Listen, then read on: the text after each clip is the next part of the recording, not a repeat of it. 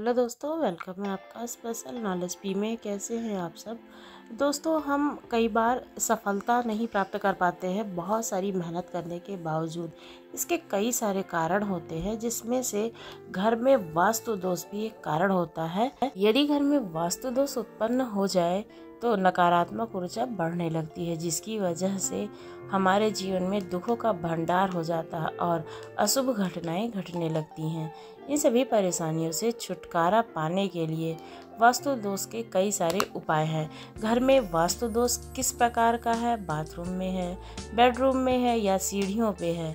इसका जानना बहुत आवश्यक है। तो वास्तु दोष कहाँ है और उसका निवारण कैसे किया जाए? इसके बारे में आज मैं आप लोगों के लिए जानकारी लेके आई हूँ। बार क्या होता है कि हमारे घर का जो द्वार है, वो दक्षिणारूपी होता है मतलब दक्षिण को होता है।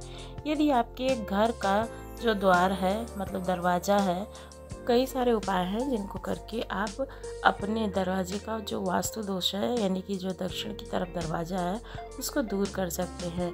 अगर आपका घर ऐसी जगह पे है जहाँ पे आप उस घर के दोगुनी दूरी पर नीम का पेड़ लगा सकते हैं तो आप ज़रूर लगाएँ, जहाँ पर जैसे जगह होती है। लेकिन क्या होता है ना कि शहरों में जगह नहीं होती है ज़्यादा तो आप नीम का पेड़ नहीं लगा सकते हैं। तो इसके लिए आपको करना क्या है कि अपने घर के मुख्य द्वार पर पंचमुखी हनुमान जी का चित्र लगाना चाहिए, और अंगद दर्पण भी ज़रूर लगाएँ साथ में।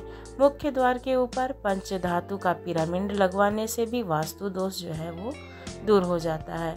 गणेश जी की पत्थर की दो मूर्तियाँ बनवाएँ, जिनकी पीठ आपस में जुड़ी हुई हो।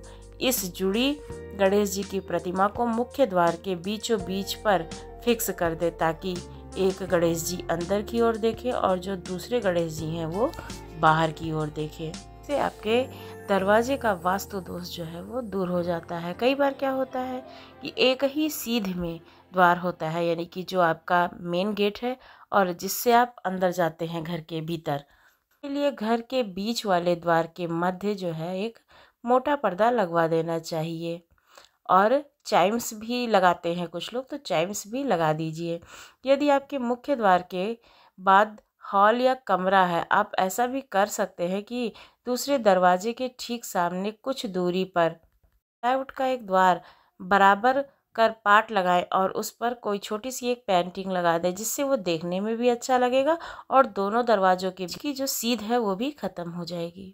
गई मेन दरवाजे की बात। यदि आपके रसोई घर में तो दो से यानी कि रसोई घर अग्नि कोण में बना है तो आप रसोई घर उत्तर पूर्व दिशा में है तो एक किचन स्टैंड रखें, उसके ईशान कोण में और उसके ऊपर सिंदूर लगाएँ और गणेश जी की तस्वीर रखें और हो सके आपसे तो यज्ञ करते हुए ऋषियों की फ़ोटो भी वहाँ पर लगाएँ। इससे रसोई घर का वास्तु दोष दूर होता है। यदि आपके घर में किसी भी स्थान पर वास्तु दोष निर्मित हो रहा है तो आप वहाँ पर कपूर की दो टिकियाँ रख सकते हैं। जब वह टिकिया गलकर समाप्त हो जाए तब दूसरी दो टिकिया और रख दीजिए। इस तरह से बदलते रहने से वास्तु दोष जो निर्मित होता है घर में, वो ख़त्म हो जाता है। आपके घर में जो बाथरूम है, वो ईशान कोण में बन जाता है और उसके साथ में भी होता है। तो ये बहुत ही बड़ा वास्तु दोष माना जाता है।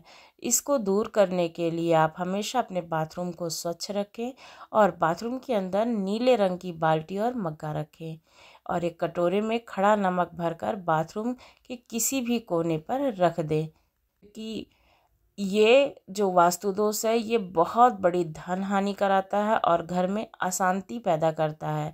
अगर आप ऐसा करते हैं तो आपके घर से धन हानि और अशांति दोनों दूर हो जाएँगे और हो सके तो शेर का चित्र भी लगाएँ। शयन कक्ष वास्तु के अनुसार तो दक्षिण पश्चिम दिशा में होना चाहिए, उत्तर दिशा में भी ठीक माना जाता है। लेकिन यदि शयन कक्ष अग्नेय कोण में है तो पूरब मध्य दीवार पर समुद्र का शांत चित्र लगाना चाहिए। सिर हमेशा पूरब या दक्षिण दिशा की ओर ही रखना चाहिए। यदि आपके घर में ईशान दिशा में कोई भी दोष है तो आप दिशा को खाली करके इस दिशा में पीतल के बर्तन में जल भर कर रख सकते हैं, या तुलसी का पौधा लगाकर इसमें नित्य जल देते रहें। पीतल के बर्तन का पानी नित्य बदलते रहना चाहिए। इससे ईशान कोण का वास्तु दोष दूर हो जाता है। में वास्तु दोष को दूर करने के लिए समय समय पर रामचरितमानस व सुंदरकांड का पाठ भी करवाते रहना चाहिए। इससे भी घर की नकारात्मक ऊर्जा जो है वो निकल जाती है। घर के किसी भी प्रकार से वास्तु दोष हो तो घर को स्वास्तिक चिन्ह और नीले गुलाबी, हल्के पीले रंग के पौधों से सजाएँ। दक्षिण की दिशा में भारी सामान रखें, जैसे लोहे की अलमारी, पलंग, फ्रिज आदि की वस्तुओं रखने से भी वास्तु दोष दूर हो जाता है। वह घर की सफ़ाई के उपरांत हल्दी को जल में घोल कर एक पान के पत्ते की सहायता से अपने संपूर्ण घर में छिड़काव करने से घर में लक्ष्मी का वास होता है, शांति आती है। इस प्रकार घर में सफ़ाई करने के उपरांत गंगा जल से छिड़काव करने से नकारात्मक ऊर्जा दूर तो होती ही है, साथ में वास्तु दोष भी दूर हो जाता है। गलत दिशा में रखी हुई धार्मिक पुस्तकें वास्तु दोष का सबसे बड़ा कारण मानी जाती हैं। वास्तु दोष के अनुसार धार्मिक पुस्तकों और ग्रंथों को हमेशा पश्चिम की तरफ़ रखना चाहिए। किसी दूसरी दिशा में बेड के अंदर अथवा गद्दे या तकिए के नीचे धार्मिक पुस्तकों को रखना अशुभ माना जाता है। घर के मंदिर में घी का एक दीपक नियमित जलाना चाहिए और घंटी भी बजाना चाहिए, जिससे सभी प्रकार की जो नकारात्मक ऊर्जा है, वो घर से बाहर निकल जाती है। इस तरह से घर में शंख रखने और बजाने से घर का वास्तु दोष जो है, वो दूर होता है। घर के पूजा स्थान में देवी देवताओं पर चढ़ाए गए पुष्पहार दूसरे दिन हटा देने चाहिए और भगवान को नए पुष्प अर्पित करने चाहिए। कर भी भगवान के मंदिर को घर के सामने ही नहीं रखना चाहिए, जैसे कि कोई भी आए और उसे छू ले। इसको करने से बहुत ही बड़ा वास्तु दोष होता है और बहुत ज़्यादा घर में निगेटिविटी उत्पन्न होती है। में सफ़ाई हेतु रखी जाने वाली झाड़ू दरवाजे के पास नहीं नहीं रखनी चाहिए और ना ही ऐसे स्थान पर रखना चाहिए जहाँ पर आपका पैर बार बार लगता हो। इससे भी आपके घर में धन हानि होती है और झाड़ू के ऊपर कोई भी वजनदार वस्तु नहीं रखना चाहिए। इससे घर में वास्तु दोष होता है। घर में निगेटिविटी आती है। अपने घर के दीवार पर सुंदर, हरियाली से युक्त और मन को प्रसन्न करने वाले चित्र लगाने चाहिए।